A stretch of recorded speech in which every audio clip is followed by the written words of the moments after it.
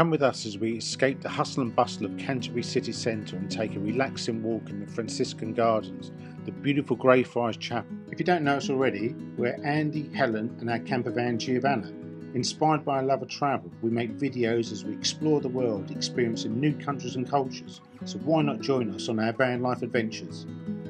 The beautiful Greyfriars Chapel is a hidden gem of peaceful past and a place of tranquility beside the burbling Great Stour River. Franciscans began arriving in England in 1224.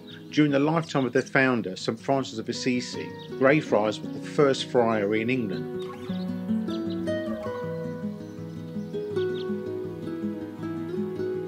The name Greyfriars stems from the grey cloth and belt ropes that made up the friars' habits. Their original accommodations were poor and they quickly realised they needed better housing land and farm. So in 1267 the building was rebuilt from stone.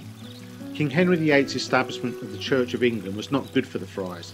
Several brothers were imprisoned, two were executed for refusing the Act of Supremacy, and the friary was disbanded and the lands and property was surrendered to the Crown. Eventually, the land became private property and for centuries was known as Greyfriars Estate. Sadly, the original site of the friary was lost to time.